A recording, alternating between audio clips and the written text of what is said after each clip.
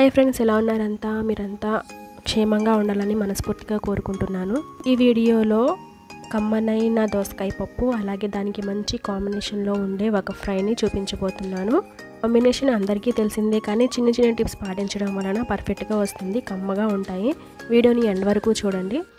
ముందుగా ఒక కప్పు పప్పుని తీసుకొని చక్కగా శుభ్రంగా కడిగి నానబెట్టుకుని ఉంచుకోవాలి. తర్వాత దోసకాయని తీసుకొని దాన్ని పీల్ చేసేసి కట్ చేసి పెట్టుకోవాలి. ఇక్కడ నేను ఒక దోసకాయ మాత్రమే తీసుకున్నానండి. ఎక్కువ ఉంటే పొల్లదనం ఎక్కువగా ఉంటుంది. దోసకాయని ఫ్రెష్గా వాటర్తో కడిగేసుకున్న తర్వాత దీనిని మనం చెక్ చేసుకుందాం. కొన్ని దోసకాయలు చొయ్యగా ఉంటాయి కదా అలా టెస్ట్ చేసుకోకపోతే కర్రీ అంతా వేస్ట్ అయిపోతుంది. దీనిని పీసెస్గా కట్ చేసి దీనిని మనం ఆల్రెడీ నానబెట్టి ఉంచుకున్న ఈ కందిపప్పులోనికి యాడ్ చేసుకోవాలి.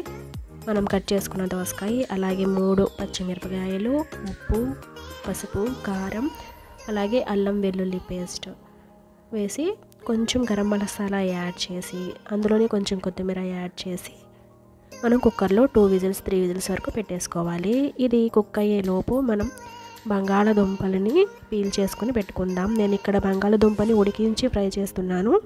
నార్మల్గా కంటే కూడా ఇలా ఉడికించిన బంగాళదుంప ఫ్రై అనేది చికెన్ ఫ్రైలా చాలా బాగుంటుంది. అదిను పప్పు కాంబినేషన్లో చాలా బాగుంటుంది. నోట్లో వేయంగానే ముద్ద వెన్నలా కరిగిపోతుంది. బంగాళదుంపని మనం పీల్ చేసేసుకున్న తర్వాత శుభ్రంగా కడుక్కొని ఇంకో గిన్నెలో వేసుకున్న తర్వాత కొంచెం ఉప్పు పసుపు వేసి స్టవ్ మీద పెట్టుకొని సిమ్లో ఉడికించుకోవాలి. ఇందులో ఫ్లేవర్ కోసం కొంచెం మసాలాను కూడా యాడ్ చేసుకోవచ్చు. కొంతమంది యాలకులు యాలక్కాయలు కూడా యాడ్ చేస్తారు. నేనేమి ఇక్కడ యాడ్ చేయలేదు. ఉప్పు పసుపు రెండు యాడ్ చేసి ఇలా ఉడకబెట్టాను. ఇలా ఉడికిపోయిన బంగాళదుంపల్ని పక్కకు తీసుకోవాలి.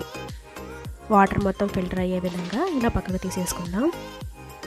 పిల్లలకైనా పెద్దవాళ్ళకైనా కూడా బంగాళదుంప ఫ్రై అనగానే చాలా ఇష్టంగా తింటారు. సో మనకేమి తోచినప్పుడు పిల్లల్ని పెద్దల్ని ఇంప్రెస్ చేయాలనుకుంటే మనం ఈ కాంబినేషన్ని చక్కగా వాడేయచ్చు. బంగాళదుంపని ఫిల్టర్ చేసేసిన తర్వాత మనం పోపు పెట్టుకోవాలి. ఒక బ్యా ప్యాన్లో కొంచెం ఆయిల్ వేసి ఆయిల్ హీట్ ఎక్కిన తర్వాత ఆవాలు పప్పులు అన్ని జీలకర్ర అన్ని అంటే పోపు దినుసులు ఫస్ట్ యాడ్ చేసుకోవాలి. బంగాళదుంప ఫ్రైలో పోపు దినుసులు మనం మనం యాడ్ చేసే గ్రేవీ కోసం యాడ్ చేసే మసాలాల వల్లనే దీనికి టేస్ట్ బాగా వస్తుంది. పోపు దినుసుల తర్వాత మనం ఇందులోనే వేరుశనగ గుళ్ళు యాడ్ చేస్తున్నాను. స్పెషల్గా ఉంటుంది. అలాగే ఫ్రై కూడా చాలా బాగుంటుంది అనమాట ఇలా వేరుశనగలు యాడ్ చేసిన తర్వాత చక్కగా ఫ్రై అవ్వాలి. గోల్డెన్ కలర్లో ఫ్రై అయిన తర్వాత ఇందులోనే వెల్లుల్లిపాయలు ఉల్లిపాయలు కట్ చేసి పెట్టుకున్న ఉల్లిపాయలు అలాగే కరివేపాకు అన్నీ వేసి చక్కగా ఫ్రై చేయాలి. బంగాళదుంపలు ఆల్రెడీ కుక్ అయి ఉన్నాయి కాబట్టి ఉడికించి పెట్టుకున్నాం కాబట్టి ఫ్రై చేయడానికి అంత టైం పట్టదు. మనం వేసుకున్న ఈ మసాలాలే కొంచెం గ్రేవీ వచ్చే విధంగా గోల్డెన్ కలర్ వచ్చే విధంగా ఫ్రై చేసుకోవాలి. ఇందులోనే పచ్చిమిరపకాయలు అలాగే కరివేపాకు కొంచెం అల్లం వెల్లుల్లి పేస్ట్ యాడ్ చేసి బ్రౌనిష్ కలర్లో అంటే గోల్డెన్ కలర్లో వచ్చే విధంగా ఫ్రై చేసుకోవాలి. అండ్ మీ అందరికీ స్మాల్ రిక్వెస్ట్ ఫ్రెండ్స్ మీరు కనుక మన ఛానల్ని ఫస్ట్ టైం చూస్తున్నట్లయితే మన ఛానల్ని సబ్స్క్రైబ్ చేసుకొని పక్కనే ఉన్న బెల్ ఐకాన్ని క్లిక్ చేయండి. అలాగే ఆల్రెడీ సబ్స్క్రైబ్ చేసుకుని సపోర్ట్ చేస్తున్న సబ్స్క్రైబర్స్ అందరికీ కూడా పేరు పేరున థ్యాంక్ యూ సో మచ్ అండి.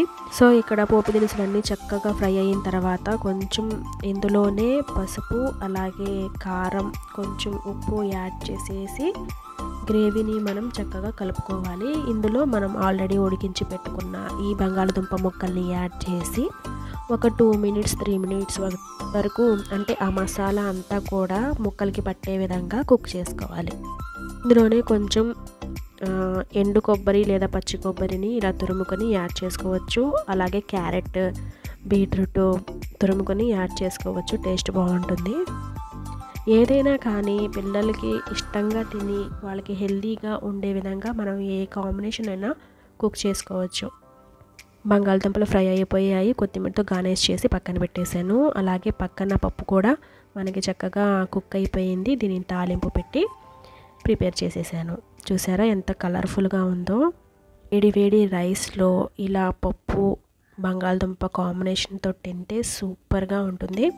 ఫ్రెండ్స్ ఇవాళ వీడియో మీకు నచ్చిందని అనుకుంటున్నాను. మరో మంచి వీడియోతో మళ్ళీ కలుస్తాను. Thank you so much for watching. Keep supporting and subscribe.